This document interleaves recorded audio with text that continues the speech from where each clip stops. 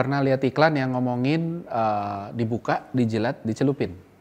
Kita mau bahas itu. Itu sebenarnya ada dampaknya nggak ke marketing? Sebenarnya gede banget. Itu dampaknya menarik, gede, dan snowball yang banyak orang nggak sadar. Halo, saya Ignatius Suntung. Selamat datang di Marketing.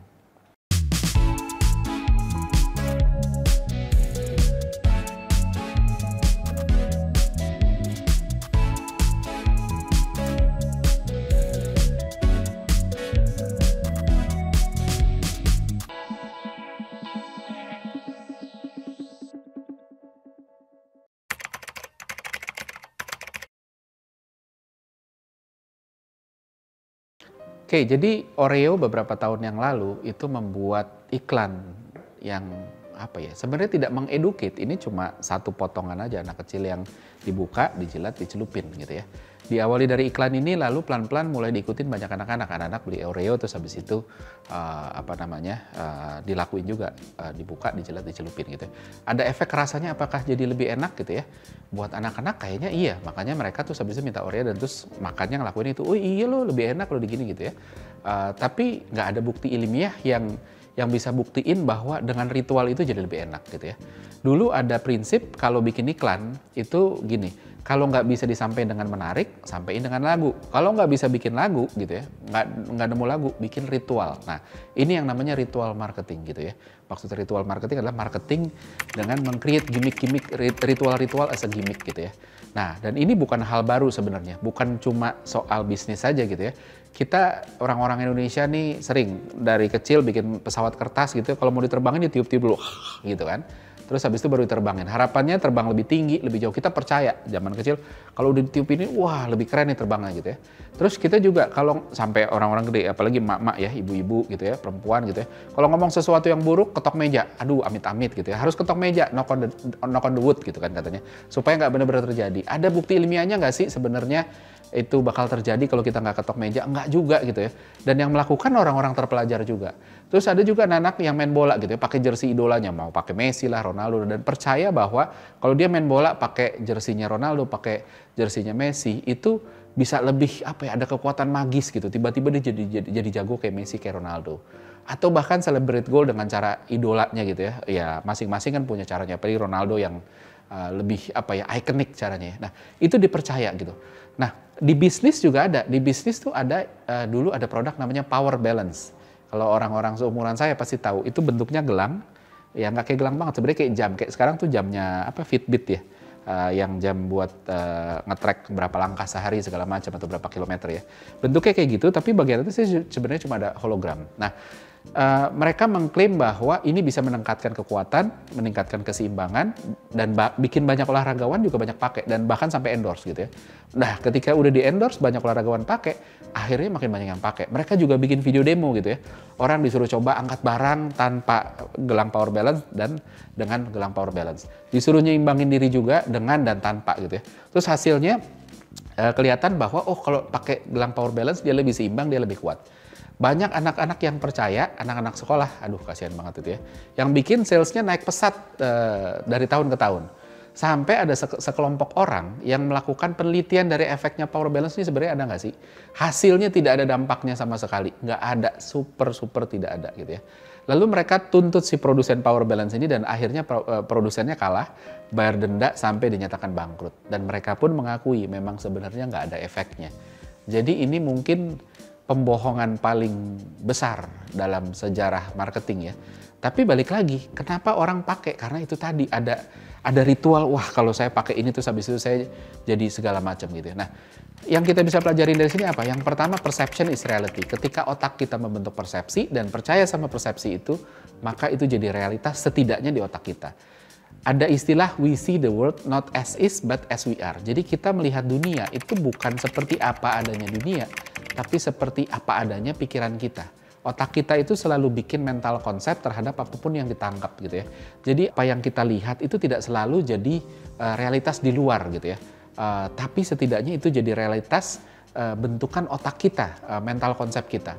Makanya hal yang sama bisa punya gambaran berbeda uh, di dua orang yang berbeda. Contohnya apa? Contoh duren. Duren, kalau ditunjukin duren, orang Indonesia langsung, wah ini dia nih, sampai kita bilang kejatuhan duren gitu kan. Dapat rezeki itu dianalogikan sebagai uh, apa kedap, uh, kejatuhan durian runtuh gitu ya. Sementara orang bule jijik gitu. Kejatuhan durian runtuh buat mereka udah sakit nggak enak pula gitu kan. Jadi itu tadi gitu. Padahal bendanya sama. Artinya realitasnya tidak menempel di duren. Realitasnya menempel di siapa yang memproses itu. Buat orang Indonesia ini rezeki, buat orang bule ini musibah gitu. Jadi sama sekali uh, kita melihat bahwa persepsi itu jadi realitas di otak kita karena setiap orang punya fil persepsi uh, perseptif filter berbeda dan akhirnya punya mental konsep yang berbeda gitu dan kalau udah percaya ya akhirnya juga jadi realitas tidaknya di benak kita. Nah tapi kenapa kita bisa percaya? Yang pertama ada yang namanya group bias. Group bias itu adalah apa ya? Uh, kita bias karena kita berusaha baik sadar ataupun bawah sadar itu solidar terhadap grup kita ya. Awalnya ikut-ikutan gitu, ikutin iklan gitu ya. Atau siapa pun yang mulai duluan nggak percaya-percaya amat, tapi udah deh lakuin aja just for fun gitu. Apa pun aktivitinya, bisa si Oreo, bisa si Power Balance atau apa pun. Lama-lama makin banyak yang lakuin dan akhirnya mulai terbentuk grup bias tadi gitu ya. Kayak sesuatu yang mulai dipercaya harus dilakuin sebagai bagian dari dari grup itu tadi.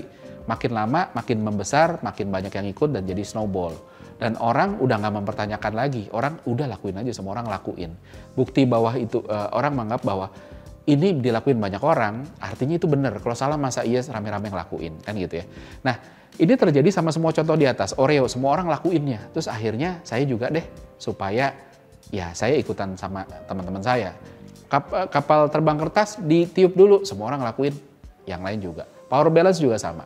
Ketok meja wah ini lebih menarik lagi. Semua orang ngelakuin itu dan apa ya ada potensial pain yang di yang di ada potensial risk yang di apa yang yang muncul ketika kita nggak nggak ngelakuin. Karena sebenarnya ritual ketok meja itu kan sebenarnya untuk mencegah resiko. Mudah-mudah beliefnya adalah kalau kita ketok meja itu tidak terjadi kepada kita gitu ya. Nah, ke, sehingga dorongan untuk melakukannya lebih gede. Karena buat orang kayak aduh saya nggak tahu sih bakal kejadian apa enggak tapi kalau gara-gara nggak ngetok aja kejadian kan ya elah ya udah deh ketok aja deh akhirnya terus menerus terus menerus dan bergulir gitu. jadi buat orang udahlah nggak ada ruginya lakuin aja nah selanjutnya ada effort justification bias effort justification bias ini sebenarnya adalah bias yang bikin orang merasa ada value lebih ketika kita melakukan effort lebih terhadap sesuatu. Contoh yang paling umum itu IKEA sama Lego. IKEA sama Lego itu kan kita beli tapi kita rakit sendiri. Tapi dengan begitu kita menghargai. Kita menghargai apa sofanya IKEA bukan sekedar karena itu sofa bagus, tapi karena kita ngerakit sendiri sehingga kita ngerasa oh ada effort kita di sana. Lego juga sama. Lego ketika beli udah jadi sama beli kita rakit sendiri itu perasaannya di kita beda. Nah ini juga sama, ritual juga sama. Ada effort yang kita lakukan lebih gitu ya, sehingga kita lebih terikat ke sana, lebih percaya ada dampaknya dari ritual yang kita lakuin. Nah selanjutnya lagi ada lagi conformity bias. conformity bias ini adalah kecenderungan untuk kita ketika kita punya keyakinan, punya kepercayaan, gitu ya, kecenderungan kita untuk uh, apa ya, ketika didorong informasi untuk menguji kepercayaan ini, kita lebih aware sama informasi-informasi yang mengkonfirmasi bahwa kepercayaan kita benar. Ketika enggak ya udah enggak. Ritual juga sama, sama seperti itu. Ketika ada hal-hal yang enggak sejalan dengan ritual, kita anggap oh ya udah, misalnya apa yang ngetok meja, eh, kita ngomong sesuatu eh, kita nggak ngetok meja uh, apa?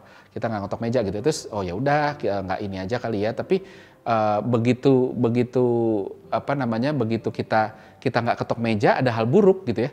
Terus kita bilang kemarin sih nggak ketok meja gitu ya. Tapi kalau kita ketok meja dan ada hal buruk, kita atributnya ke yang lain gitu ya kan Power balance pun juga sama gitu kan. Begitu menang uh, apa namanya? Kita bilangnya tuh kan pakai power balance sih. Kalau kalah kita nggak nggak mengatribut itu ke power balance.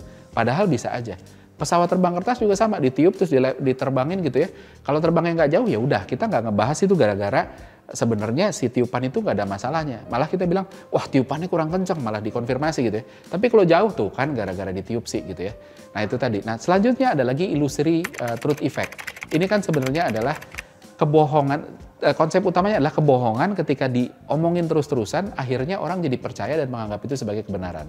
Nah, saya nggak bilang bahwa ritual marketing itu kebohongan, tapi ketika kita percaya bahwa dengan melakukan sesuatu, dengan dibuka, dijilat, dicelupin, itu jadi enak, dan itu terus-terus dilakukan, akhirnya kita makin percaya bahwa cara itu akan bikin Oreo akan jadi semakin enak.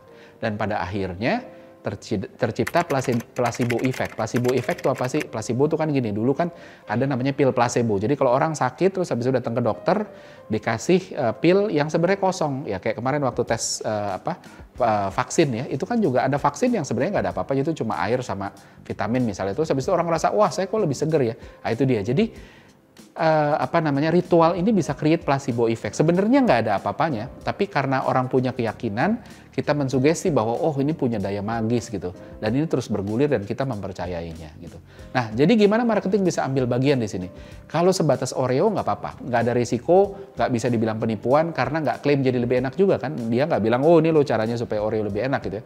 Implisit pun nggak. Ini lebih nunjukin salah satu ritual orang yang makan ini dan menariknya ini malah jadi sesuatu yang diingat untuk menciptakan sugesti walaupun nggak dijanjiin sama Oreo itu tadi.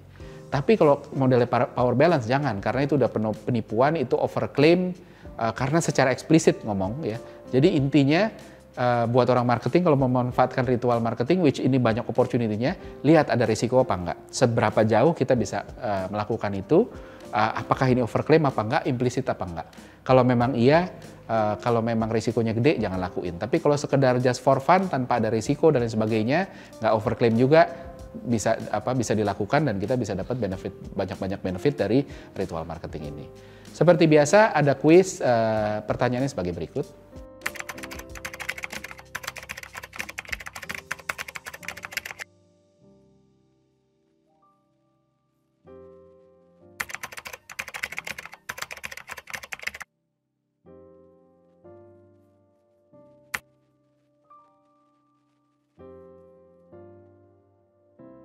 Jawaban untuk kuis episode ini bisa dilihat di episode uh, selanjutnya. Maka dari itu jangan ketinggalan selalu ikuti marketing di Marketers TV. Saya Ignatius Untung pamit undur diri.